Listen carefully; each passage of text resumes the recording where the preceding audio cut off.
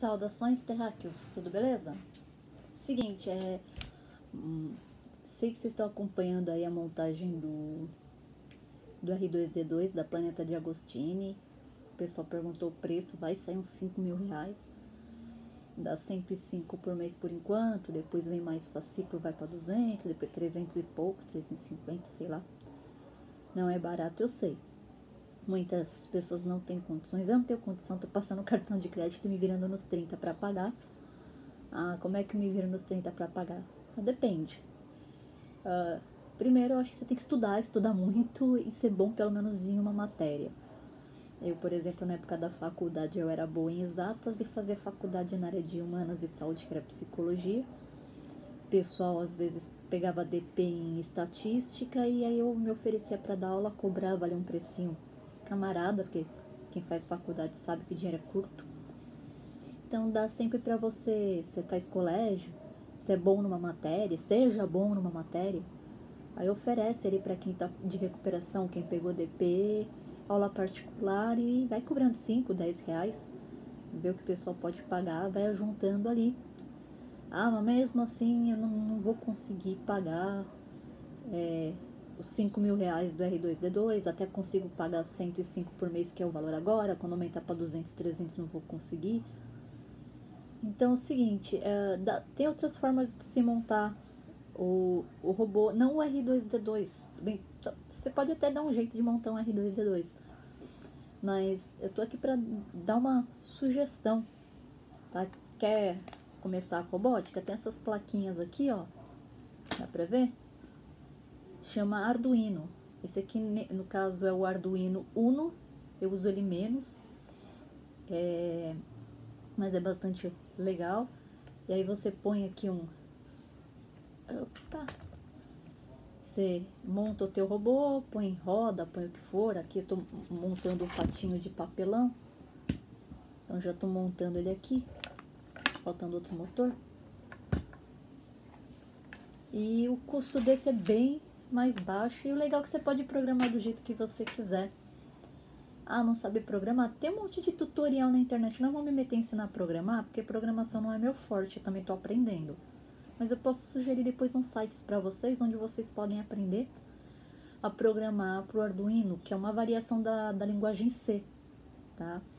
É, tava aprendendo C Sharp e Python, deu uma paradinha para estudar o C, porque esse aqui tava mais interessante, só por causa disso. Você liga o cabinho aqui, aí põe aqui na USB seu computador, aí você faz a programação, que tem vários sites que ensinam, passa a programação aqui para a plaquinha, aí você pode tirar. Aqui você pode ligar uma fonte de 6 a 12 volts, eu sugiro uma de 9, tá? Eu acho que 6 é muito pouquinho. E a, de 12, é, não sei, eu não gosto de botar sempre o um máximo só por garantia. Então eu uso essas baterias aqui, essa aqui é Paraguai, é baratinha, 5 conto. Tá, tá até fechada essa aqui. E elas são de 9 volts. E eu uso um adaptador pra... Como é que você faz o adaptador? Você pega uma bateria velha, se tira essa parte aqui, compra uns cabinhos desse aqui, ó, pega um vermelho e um azul, descasca aqui, usa esses cortadores de fio, descasca de um lado, descasca do outro, põe o vermelho onde é positivo, o preto onde é negativo, e aí você pode é, colocar aquele fundinho da bateria para engatar na nova bateria e soldando os cabinhos vermelho no positivo e pretinho no negativo. Você pode ligar num plugzinho qualquer plug velho de teclado, de, daqueles carregadores antigos de celular. Ou você compra na internet um plugzinho já pronto pro Arduino, não é tão caro. Se for pagar uns 8, 9 reais. Quem mora em São Paulo pode ir lá na Santa Efigênia. Então, brincar, fazer robô com Arduino, ele é bastante interessante. Fiz aqui um brinquedo. Opa! Vou até colocar aqui em cima. Esse brinquedo aqui imita o Gênios da estrela. Aí eu vou até dar um reset aqui. Como é que ele funciona? É, ele tem quatro luzes, verde, vermelha, azul e amarela. Aí eu liguei cada uma delas numa portinha aqui do Arduino. Na verdade eu liguei direto na Protobird. Opa! Preto ou amarela? Amarela. Tipo o jogo da memória. Amarela, vermelha.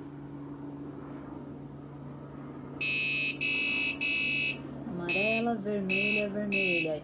E aí vai, eu eu ia colocar programação de 30 fases, minha amiga falou para colocar é, 32 fases. Acabei colocando 32 fases. Aí vamos errar. Ele faz escândalo quando erra. É, como eu, eu, ainda não prendi, isso aqui tá ligada na Protobird. Então às vezes dá um mau contato ali, vou até desconectar. Então olha só, tá vendo? Isso aqui é a bundinha de bateria foi soldada ali com dois cabinhos, um preto um vermelho. Acho que o preto é até mais comprido que o, o vermelho. Então a gente se vira aí nas gambiarras da, da vida. Cursinho de eletrônica tem também no YouTube. E aqui eu estou usando um Arduino que é mais baratinho. Esse Arduino aqui é o Arduino Nano. E o Arduino Nano ele é muito legal. Tanto é que assim eu gostei tanto desse minha patroa, ela gostou tanto do, do Gênios que eu acabei comprando um Arduino Nano, o piratão chinês, chinesinho, ali no, no Wish, dá para comprar no AliExpress também. Eu tô soldando aqui na, na plaquinha para dar de presente para ela. Alguns fios são por cima, os fios que precisa depois ligar nos resistores são por baixo. Então, qual o custo dessa brincadeira? É, quer fazer robozinho, quer entrar na robótica ali? É, é, bom ter uma protoboard, você vai pagar ali as mais simplesinhas, você paga 10 real. Aí comprou uma protoboard, que é essa plaquinha branca aqui, ó. Comprou a protoboard. É bom ter uns alicatinhos, eu uso um alicate de bico, que às vezes é mais fácil para encaixar as coisinhas, o dedo não entra, o biquinho do alicate entra. Compra ali um alicate de corte. Tá? Eu paguei 10 reais no alicate de bico, paguei 12 no de corte. Esse alicate aqui eu não faço ideia de quanto é que ele é, mas assim, eu uso ele mais de prensa, tá vendo? Eu boto um elástico aqui, aí quando eu preciso soldar alguma coisa, eu prendo eu vou soldar aqui e o elástico segura, eu posso deixar, isso aqui é muito grosso, né, eu soldo coisa menor. Então você prende a peça aqui, coloca na mesa e aí usa o ferrinho de solda, tá travado aqui, usa o ferrinho de solda para soldar. Eu recomendo os ferrinhos de solda de 30 ou 40 volts, não precisa pegar o de 60 não, se vocês não estiverem acostumados, senão vocês podem queimar ali o componente eletrônico é, comprar. Eu só adoro essas caixinhas aqui, tá? É, eu compro muito com o pessoal lá do sul, acho que é Santa Catarina, chama Felipe Flop. E eles mandam já tudo em caixinha, então ajuda bastante a organizar. Então vocês vão comprar lá o Arduino, ou o Nano, ou Uno, entendeu? Se vocês forem lidar com a protoboard, até se vocês forem soldar, eu recomendo o Nano. Ele é mais baratinho, ele é menorzinho e ele é mais gostosinho de, de, encaixar nas coisas. Eu gosto mais do Nano que do Uno. Compro uns botões coloridos. Uh, mas não esquece de comprar também aqueles botões estilo... Puxinho, ele, ele é o que? Opa, vou pegar um aqui. Esses botões, eles é, possuem uh, uma conexão entre eles. Então, normalmente, eles são ligados esses dois aqui e esses dois aqui. Então, quando o botão ele tá assim, o circuito não tá fechado. Quando você aperta, ele entra em curto e aí pode acender uma luzinha ou dar algum tipo de comando. Você solta, voltou ao normal, ele não fica preso lá. Esses botõezinhos são ótimos para aprender a programar ou para usar para o robô para fazer algumas coisas, essa caixinha de botões. Mais importante que vocês vão precisar uh, ah, tá aqui, ó. Resistor. Ah, procura lá na internet como é que faz cálculo de resistor. Uma compra resistores. Os que eu mais uso são os de 100 ohm, de 220 ohm e o de 10k. né, que são 10 mil ohm. Uh, tem as coresinhas, tem até tabela para você aprender a identificar as cores. Então, o resistor serve para quê? Uh, a maioria das saídas do Arduino são em 3 volts. Então, às vezes, o, o LED ele não aguenta 3 volts, ele aguenta 2.2, 2.3, é, é bom usar. A maioria dos LEDs eu uso 100 ou de 220 ohms, tá, tá bom. Então, quanto maior o número, maior a resistência, menos energia vai passar lá.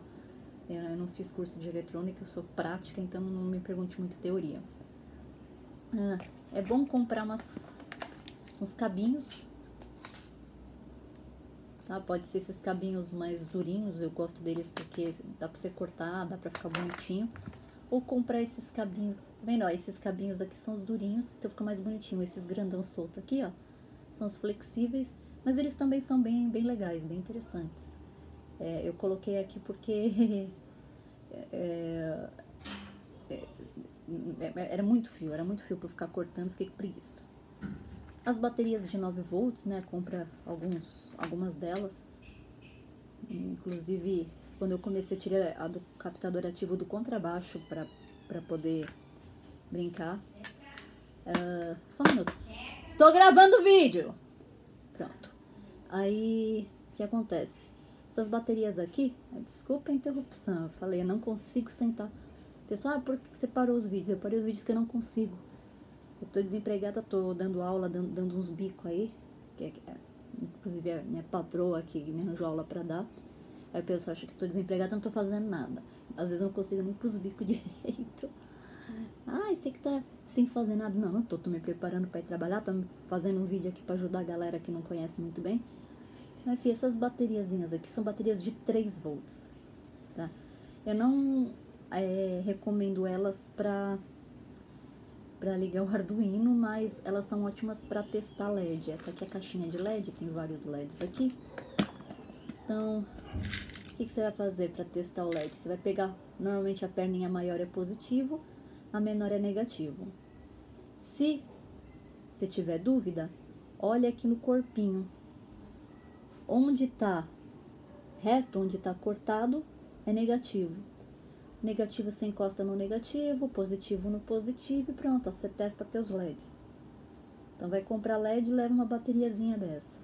Costumo sempre deixar uns é, fácil, sabe por quê? Porque se dá problema na, na rede elétrica, que nem teve um apagão esses dias aí, por causa da chuva, derrubou a árvore, acabou com a fiação. Foi nem a chuva, foi o vento. Então, eu costumo encaixar. Ixi, essa bateria acabou, preciso jogar fora. Não joga no lixo, tá?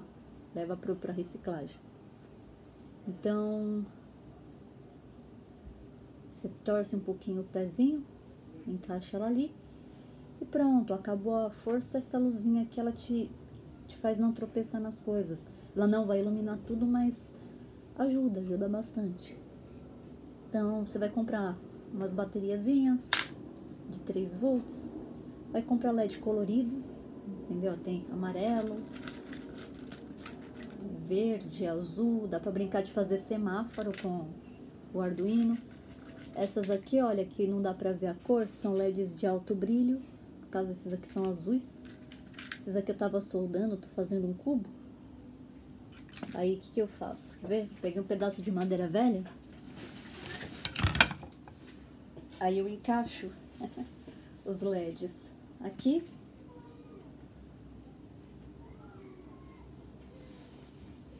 E aí eu vou dobrando e soldando os LEDs, tá? É, que mais que dá pra sugerir? Ah, os, motorzinhos. Tem dois tipos de motor, tá? Que, que eu uso. Deve, deve ter muito mais. Esses aqui são os motores DC. Eles dá pra rodar pra frente, dá pra rodar pra trás. E dá pra você regular a velocidade. Se quer rápido, quer, quer mais devagar, você faz tudo isso na programação.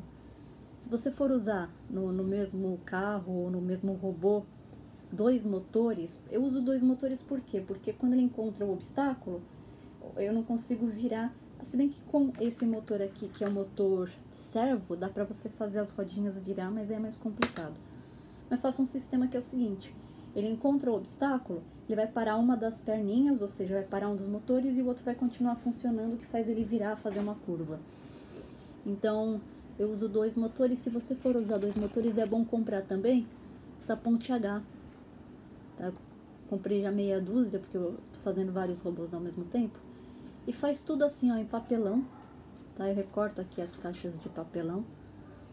E, e, e, e vou montando com a protoboard mais placa de papelão para ver todos os furos, para ver os encaixes, para ver o equilíbrio, para ver o balanço.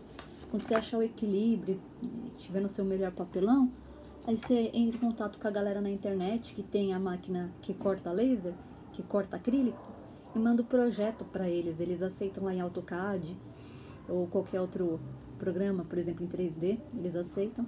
E eles recortam bonitinho a plaquinha para você Normalmente são duas plaquinhas, né? Uma para colocar o Arduino, outra para colocar as pontes, os motores. No caso, eu, tô fazendo um pato, então ele não tem roda, né? Ele funciona com o pezinho, então é... Mas tem... Ah, vou mostrar. Mas tem também, você pode comprar ou até mandar fazer. Isso aqui é para guardar os Arduinos, tá? Você pode mandar fazer a, a, a plaquinha para colocar as rodinhas. Tá? No caso, isso aqui era uma placa de teste, por isso que eu não terminei de montar. Uh, que mais? É, além de fio, além de tudo, é bom. Isso aqui deve custar de 50, 60, até 70 reais, dependendo de onde vocês forem comprar. Um multímetro, tá? Serve para você testar algumas coisas para você não queimar. Testar as entradas, saídas, também dá para aprender a usar isso na internet, tá? Não é, não é tão complicado. O motor servo que eu tinha falado. Motor servo, ele não vai girar 360 graus, ele sempre gira 180, tem 90 para um lado, 90 para o outro. Então ele só dá uma abertura de 180. Serve para você fazer o teu robô virar pescoço para o sensor identificar algumas coisas também serve para brincar, para fazer a, a, alguns tipos de aviãozinhos. Usa esse tipo de motor. E compro de várias assim, que sai mais barato. Motorzinho desse acho que deve estar tá custando mais ou menos uns 10 reais, talvez nem 10 reais. É, comprei aí, ó, paguei, em três eu paguei 30 reais, então 10 reais aí mais ou menos. E também é interessante para você colocar o eixo para fazer as rodinhas virarem conforme a programação que você coloca no Arduino. É para brincar, você pode comprar uns LEDzinho. Tá, esse aqui é, foi meu primeiro LED, você tem que esse aqui é chatinho, você tem que programar uh, barrinha por barrinha, é, é mais chatinho. Mas esse aqui, ó, até pegar ele solto. Esse aqui tá solto. Esse aqui é um LEDzinho de 16 por 2, onde você pode escrever aqui a notificação. No caso do meu pato que chama Arqueobaldo, ele, aqui ele coloca Oi, eu sou Arqueobaldo e a temperatura atual. É, e para você não ter que ligar com um monte de cabo, você pode comprar aqui, ó, que já tá soldado. Esse aqui é, uma CL eu acho que é uma CL, CL12. É, não, é CL2 ou CL12, eu não lembro. E ela serve pra você conectar só com quatro cabinhos. Aqui você vai precisar acho que uns 16 cabos. Tanto é que esse aqui é, é o que vai ser soldado no pato, por isso que eu não coloquei. Mas essa aqui que é pra ligar, pra fazer teste, eu comprei essa... Eles chamam de Tild, né? Não sei, essa plaquinha aqui que ajuda pra caramba. Vocês podem ver, eu não, não sou formada nisso, não sou técnica nisso. Isso aqui, ó, são sensores de distância, tá? Um emite luz, o outro recebe luz. Então, através dessa emissão de luz, ele tem o retorno. E aí ele te fala a distância. Eu acho que, se eu não me engano, distância de até 30 centímetros ele reconhece. Pelo menos meu pato, ele, ele reconhece ali a, a 30 centímetros de distância. Mas eu peguei outro sensor, peguei esse aqui, ó porque eu achei que tinha mais olhinho, carinha de olhinho, aí acabei pegando esse, mas funciona da mesma forma do outro, por junto com os sensores. E isso aqui, cadê? Opa, guarda o botão no lugar certo. Uh, opa, Isso aqui, ó, é 50 centavos. Dá pra ver? Ele é um, um, um, tipo um resistor, só que ele tem fotossensibilidade. Isso aqui dá pra você usar pra resistência caseira, na sua casa, por exemplo. Ó, lá fora tá escuro. Aí você pode colocar o quê? Vai colocar na rede da, lá fora, pendurar lá fora, ligar na rede, ligar no Arduino. E aí quando ele percebe que ficou escuro, que ficou de noite, ele acende a luz lá fora automático, sem você precisar acender. Ficou de dia, ele viu a iluminação, ele apagar. Você pode programar para isso. No caso do meu pato, eu, eu comprei dois aqui, ó. No caso do meu pato, servia, porque no começo o pato andava na dentro de... Sabe fita isolante preta? Então, eu botava fita isolante preta, colocava os LED embaixo, colocava os sensores um de cada lado. Conforme ele estava saindo do, da linha preta, ele, ele corrigia pela programação.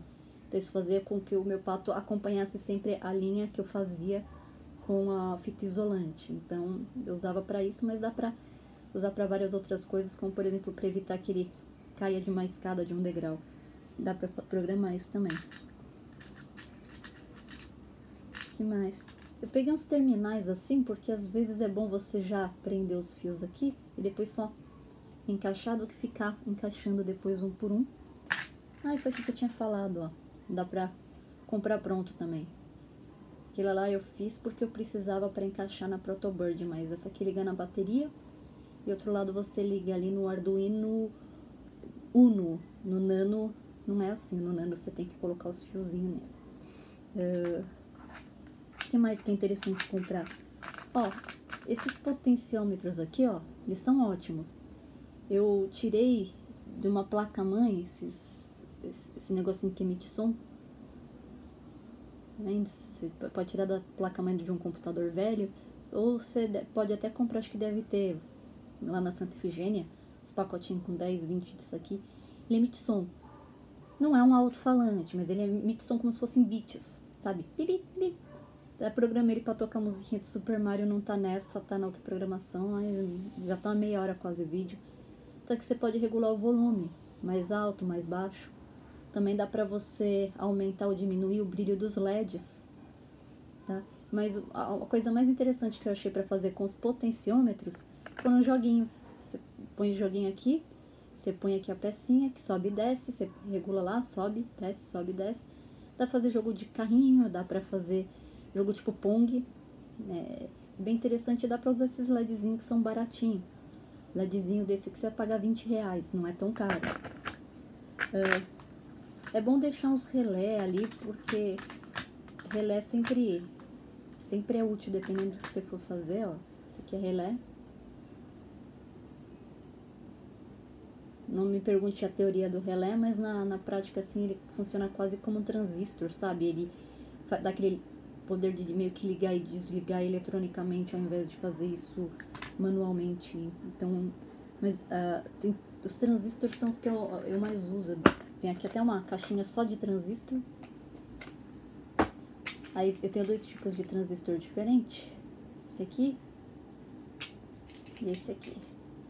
Que são os, esses aqui são os que eu uso para fazer os cubinhos de LED. E é bom sempre ter esses terminais aqui que são para você soldar. De repente você precisa soldar o Arduino num projeto final, finalizou o projeto, você pode soldar o Arduino.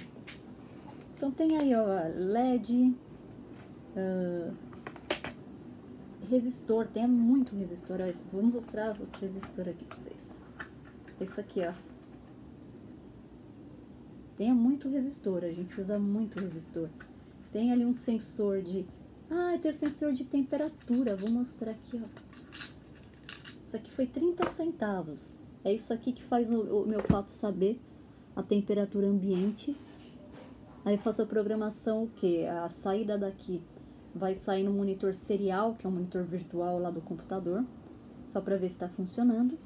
E depois eu mando o quê? Que o que está impresso, o print do, do, do, monitor serial, saia dentro do LED.